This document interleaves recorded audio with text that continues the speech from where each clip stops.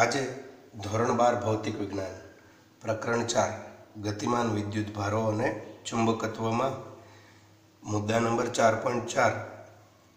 સંયુક્ત એવા વિદ્યુત અને ચુંબકીય ક્ષેત્રમાં ગતિ વિશે અભ્યાસ કરીશું.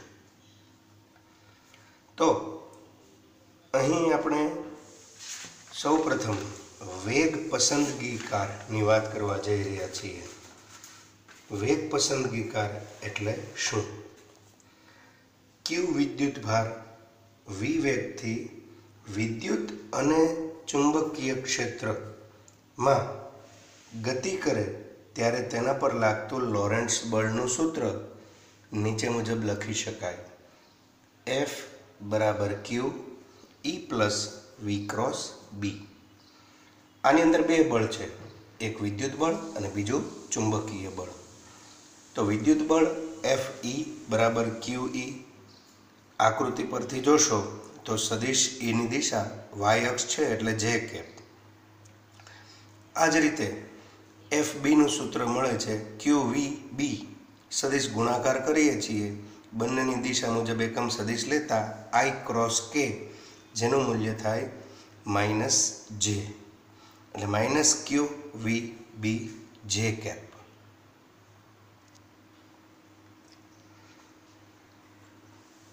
આકૃતિમાં વિદ્યુત ક્ષેત્ર અને ચુંબકીય ક્ષેત્ર પરસ્પર લંબ તથા વેગ વી પણ વીને પણ લંબ છે.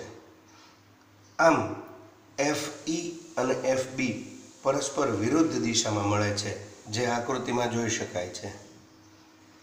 જો સદિશ ઈ અને સદિશ બીના મૂલ્ય એવા રાખવામાં આવે કે જેથી એફ ઈ બરાબર એફ બી થાય, તો વિદ્યુત ભાર પરનું કુલ બળ શૂન્ય થશે અને તે કોણાવર્તન પામ્યા વગર આ ક્ષેત્રોમાં ગતિ કરશે. તેથી ક્યુ ઈ બરાબર ક્યુ વી બી અને તેથી વી બરાબર ઈ અપોન બી મળે. આ શરતનો ઉપયોગ કરી જુદી જુદી ઝડપથી ગતિ કરતા વિદ્યુત ભારોની કિરણાવલીમાંથી ચોક્કસ વેગના વીજભારિત કણોને જુદા પાડી શકાય. આમ પરસ્પર લંબ એવા વિદ્યુત અને ચુંબકીય ક્ષેત્રો વેગ પસંદગીકાર તરીકે વર્તે છે. આ પદ્ધતિનો ઉપયોગ જે જે થોમ્સને ઈ અપોન એમ ગુણોત્તર માપવા કર્યો હતો. તેમજ આ સિદ્ધાંતનો ઉપયોગ માસ સ્પેક્ટ્રોમીટર નામના સાધનમાં થાય છે. તો હવે આપણે જોઈએ સાયક્લોટ્રોનની રચના કાર્ય પદ્ધતિ અને ઉપયોગ. સૌપ્રથમ સાયક્લોટ્રોન એટલે શું? તેની વાત ફરી વખત કરીએ. સાયક્લોટ્રોન એ પ્રોટોન, ડ્યુટેરોન, આલ્ફાકણ જેવા વીજભારિત કણોને કે આયનોને ઊંચી ઊર્જા સુધી પ્રવેગિત કરવા માટેનું એક સાધન છે. આ સાધનની શોધ ઈ ઓ લોરેન્સ અને એમ એસ લિવિંગસ્ટોન નામના વૈજ્ઞાનિકોએ ન્યુક્લિયસનું બંધારણ સમજવા માટે કરી હતી. તેનો સિદ્ધાંત પણ આપણે જોઈએ છીએ. તેનો સિદ્ધાંત છે કે વિદ્યુત ભારને મધ્યમ ક્રમના વિદ્યુત ક્ષેત્રમાંથી વારંવાર પસાર કરીને તેની ઊર્જા ખૂબ વધારવામાં આવે છે. લંબરૂપે રહેલું ચુંબકીય ક્ષેત્ર વિદ્યુત ભારને વર્તુળાકાર માર્ગે જ ગતિ કરાવે છે. પરિભ્રમણની આવૃત્તિ વિદ્યુત ભારિત કણની ઝડપ અને વર્તુળાકાર માર્ગની ત્રિજ્યા પર આધાર રાખતી નથી. તો હવે આપણે જોઈએ સાયક્લોટ્રોનની રચના. અહીં સૌ પ્રથમ જે આકૃતિ દર્શાવી છે તેમાં સાયક્લોટ્રોનની રેખાકૃતિ દર્શાવી છે. સાયક્લોટ્રોન બે નાના પોલા ધાતુના અર્ધનળાકાર ડી વન અને ડી ટુનું બનેલ છે. તેનો આકાર ડી જેવો હોય તેને ડીઝ કહે છે. તમે આકૃતિ બેમાં જોઈ શકો છો, ડી વન અને ડી ટુ કઈ રીતના હોય છે. ડી વન અને ડી ટુને શૂન્યાવકાશ કરેલ પાત્રમાં પ્રબળ ચુંબકીય ક્ષેત્રમાં મૂકેલ છે. ડીઝને અમુક કિલો વોટના અને ઊંચી આવૃત્તિવાળા એસી પ્રાપ્તિ સ્થાન સાથે જોડવામાં આવે છે. જે કણને પ્રવેગિત કરવો હોય, તેના બીમને ડીઝના કેન્દ્ર પીની નજીક દાખલ કરવામાં આવે છે. પ્રવેગિત કણને ડીઝમાંથી બહાર કાઢવા ઋણ પ્લેટ વડે વિચલિત કરવામાં આવે છે. આયનો અને હવાના અણુઓ વચ્ચે અથડામણ નિવારવા આ સમગ્ર રચનાને શૂન્યાવકાશિત કરવામાં આવેલી હોય છે. તો શા માટે ડી અને ડી ટુને શૂન્યાવકાશિત કરેલ પાત્રમાં મૂકેલ છે? તેનો જવાબ અહીં તમને મળી ગયો. હવે આપણે જોઈએ સાયક્લોટ્રોનની કાર્ય પદ્ધતિ આકૃતિ બેમાં દર્શાવેલી છે. તો આકૃતિ બે મુજબ કેન્દ્ર પી પાસે વીજભારિત કણને મુક્ત કરવામાં આવે છે. આ કણ પર ચુંબકીય ક્ષેત્ર બી અસર કરે છે અને કણને ડીની અંદર વર્તુળ માર્ગે ગતિ કરાવે છે. જેટલી વખત કણ એક ડીમાંથી બીજી ડીમાં જાય, તેટલી વખત તેના પર વિદ્યુત ક્ષેત્ર અસર કરે છે. દરેક વખતે કણ પ્રવેગિત થાય છે અને તેની ઊર્જા વધે છે. જેમ ઊર્જા વધશે તેમ વર્તુળાકાર ગતિપથની ત્રિજ્યા પણ વધશે. આ માર્ગ સ્પાઇરલ હોય છે, એટલે કે વર્તુળ પૂર્ણ નહીં થાય. ત્રિજ્યા વધતા નવું વર્તુળ, તમે જલેબીનો જે આકાર જોયો છે અથવા તો સ્પ્રિંગ, તો એ સ્પાઇરલ આકાર કહેવાય. એક ડીમાં વિદ્યુત ભાર અર્ધવર્તુળાકાર માર્ગે ગતિ કરીને આવર્તકાળના અર્ધ ચક્ર દરમિયાન બીજા ડીમાં પ્રવેશે છે. આવૃત્તિનું સૂત્ર અગાઉ જોઈ ગયા છીએ કે ન્યૂ બરાબર q B upon two pi m.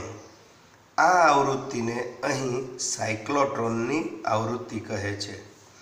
આપેલ એસી વોલ્ટેજની આવૃત્તિ ન્યૂ એ એવી રાખવામાં આવે કે જેથી કણ અડધું પરિભ્રમણ પૂર્ણ કરે, ત્યારે ડીના ધ્રુવની દિશા ઉલટાય છે.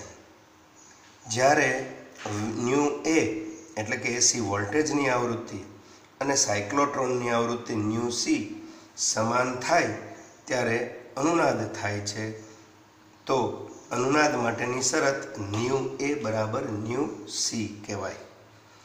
કણની વર્તુળાકાર ગતિ કરવા માટે કેન્દ્રગામી બળ બરાબર ચુંબકીય બળ થાય છે. તેથી m v square upon r બરાબર ક્યુ વી બી. જો સૂત્રનો ઉપયોગ કરીએ તો આપણને આરનું સૂત્ર મળ્યું હતું એમ વી અપોન ક્યુ બી અથવા તો પી અપોન ક્યુ બી. આ બધા જ સૂત્રો આપણે આગળની થિયરીમાં આગળના લેક્ચરમાં જોઈ ગયા છીએ. આમ, કણની ગતિ ઊર્જા વધે તેમ તેની ગતિ ઊર્જા ગતિમાર્ગની ત્રિજ્યા વધે છે. એક તબક્કે તેની ત્રિજ્યા આર વધીને ડીની ત્રિજ્યા કેપિટલ આર જેટલી થાય છે. છેવટે કણ ચુંબકીય ક્ષેત્ર વડે કોણાવર્તન અનુભવીને છિદ્રમાંથી બહાર નીકળી જાય છે. વિક્ષેપ પટ્ટી દ્વારા તેને બહાર કાઢવામાં આવે છે. ડીની ધાર પાસે કણની ઝડપ વીનું સૂત્ર તો Q B capital R upon small M capital R એ ડીની ત્રિજ્યા છે. બરાબર યાદ રાખશો.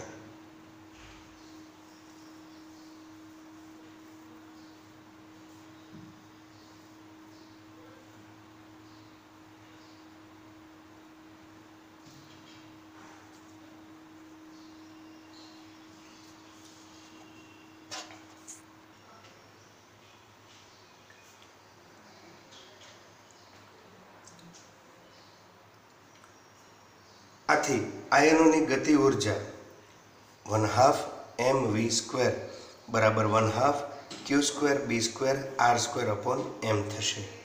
હવે સાયક્લોટ્રોનના ઉપયોગ જોઈએ. તો સાયક્લોટ્રોનના ઉપયોગોમાં પહેલો ઉપયોગ, તેના દ્વારા પ્રવેગિત થયેલ કણોને ન્યુક્લિયસ પર પ્રતાડિત કરીને ન્યુક્લિયસ પ્રક્રિયાનો અભ્યાસ કરવામાં આવે છે. એટલે કે ન્યુક્લિયસનું બંધારણ પણ જાણી શકાય છે. નંબર બે, ઘન પદાર્થોમાં આયન ઇમ્પ્લાન્ટ કરી નવા દ્રવ્યો તૈયાર કરી શકાય. નંબર ત્રણ, હોસ્પિટલમાં રેડિયોએક્ટિવ પદાર્થ બનાવવા માટે સાયક્લોટ્રોનનો ઉપયોગ થઈ શકે છે. તો, આ થયા સાયક્લોટ્રોનની રચના કાર્ય પદ્ધતિ અને ઉપયોગ. હવે આપણે જોઈએ ઉદાહરણ નંબર ચાર.